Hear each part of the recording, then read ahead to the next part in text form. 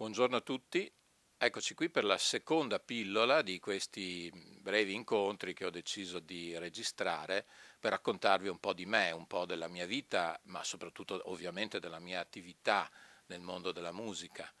Eh, oggi voglio allargarmi un po' e quindi non vi parlerò solo di musica, ma vi parlerò anche di due altre mie grandi passioni, che sono da una parte la fotografia, e dall'altra gli Stati Uniti d'America. Eh, già, gli Stati Uniti d'America, chi un po' mi conosce eh, sa bene quanto io ami quel, quello spazio, quel mondo, quella realtà, e, al punto da ritenerla la mia seconda patria per molti versi. In particolare oggi vi voglio parlare però di un luogo, un luogo che addirittura filosoficamente parlando potremmo definire non luogo, ovvero New York City, questa, questa città incredibile, eh, il cui diciamo, massimo cantore riconosciuto, che reputo sia Billy Joel, ha ben definito in una sua canzone con una definizione eh, che è a state of mind. Ecco, New York è sicuramente a state of mind è qualcosa che è collocata nell'immaginario di tutti, proprio a livello universale, io credo. E, e nel momento in cui vai lì ti rendi conto che questo immaginario diventa immediatamente realtà.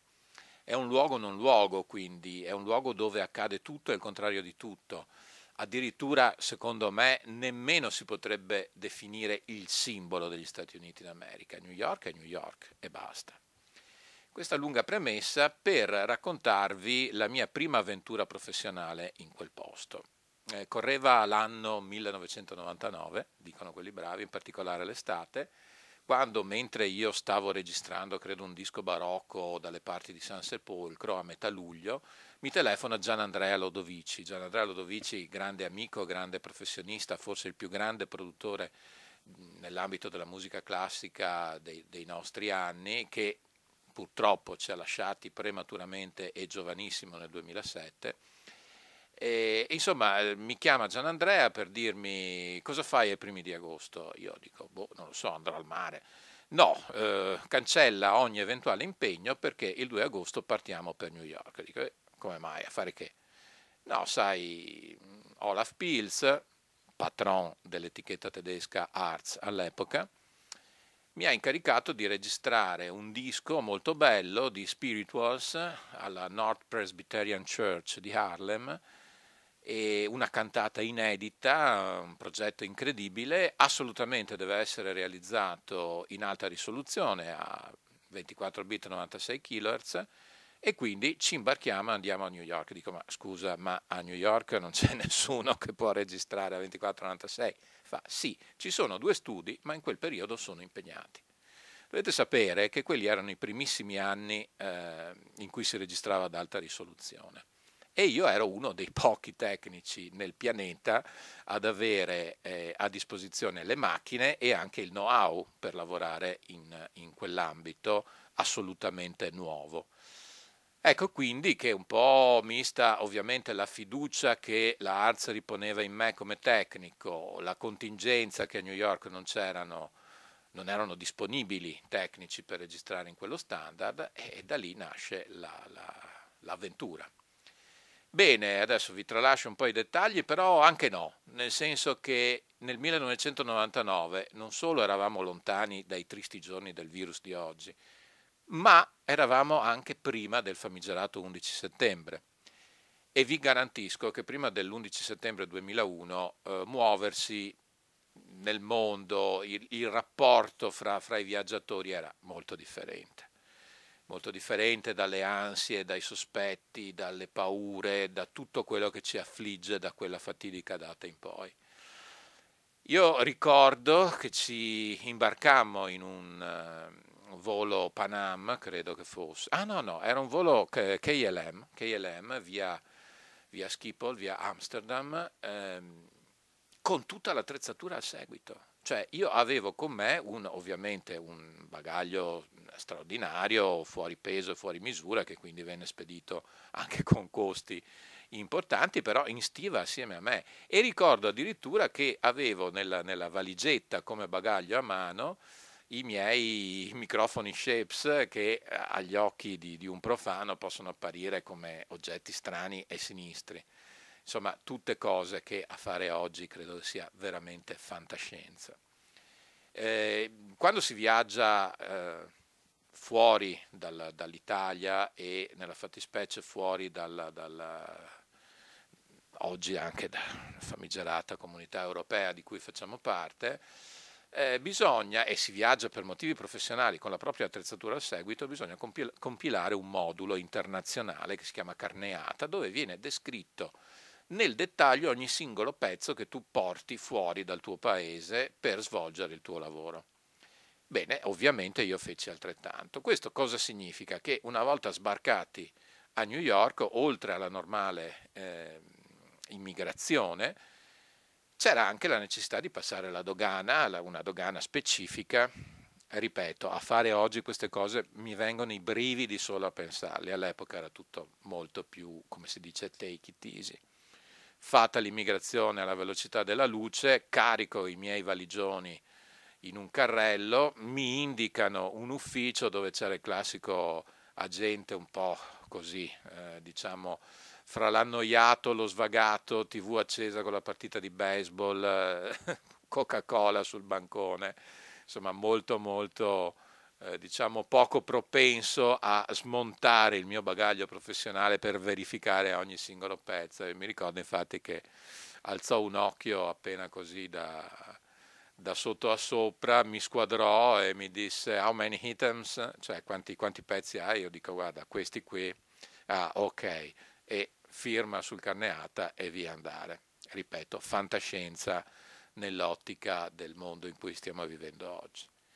Bene, a quel punto Yellow Cab, eh, flat, tariffa flat, all'epoca erano 45 dollari per qualunque diciamo, zona del, dei cinque distretti di New York City e, e via subito, erano le due del pomeriggio, ora locale, via subito alla North Presbyterian Church ad Harlem, 134esima strada.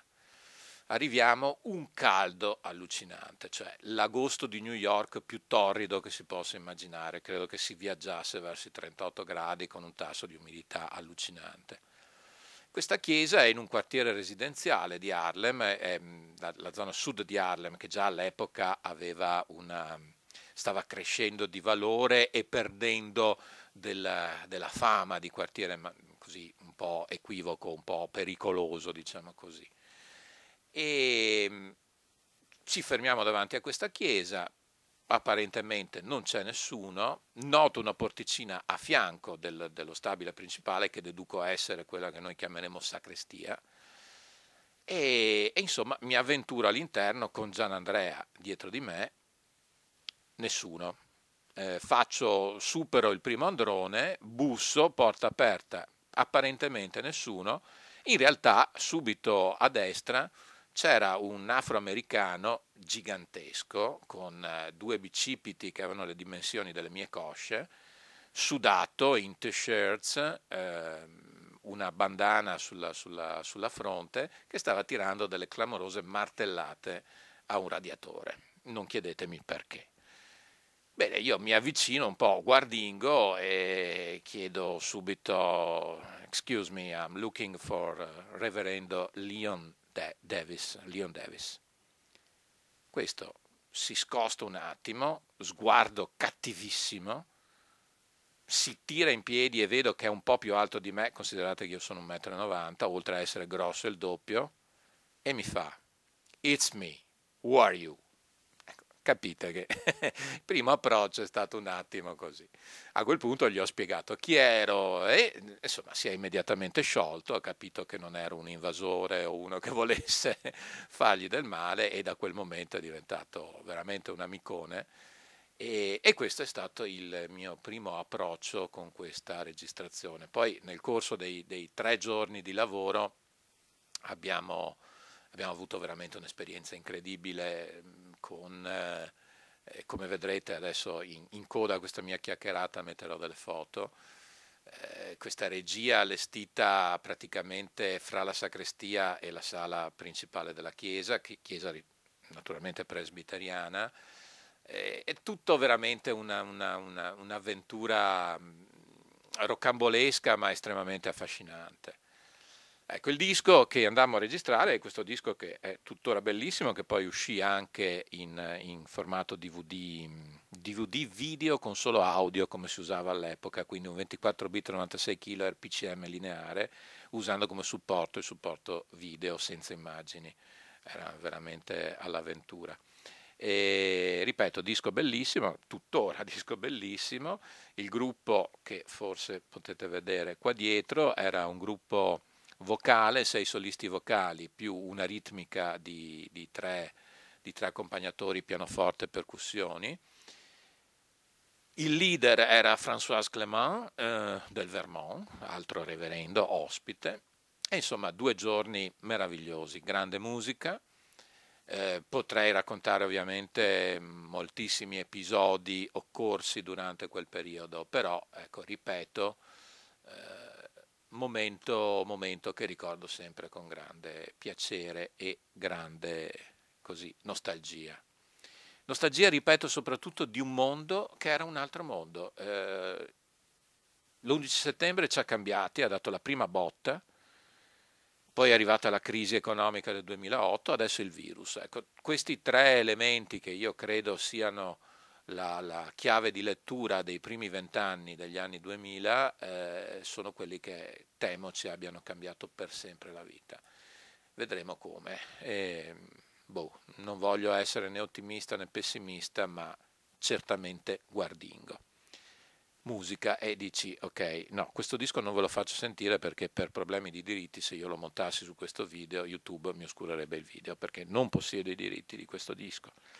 E quindi però vi faccio sentire un brano da quest'altro meraviglioso disco, che è disco, l'ultimo disco in ordine di tempo realizzato con il grande Guido Marzorati, il nostro Bruce, Bruce, Springsteen italiano per il suo stile di rock molto molto vicino a quello del grande boss.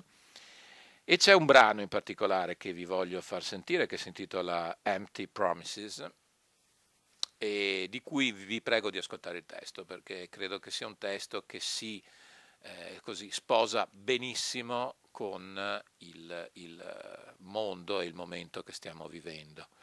Questa musica sarà accompagnata da una serie di foto di New York. Eh, cominci- ci sarà una prima slide dedicata appunto a questa registrazione fatta alla North Presbyterian Church e e poi una serie di foto in bianco e nero del, tratte dal mio ultimo viaggio a New York nel 2016, a cui sono molto legato per molti motivi, sia al viaggio che alle foto stesse. E allora buona visione, buon ascolto e arrivederci alla prossima pillola.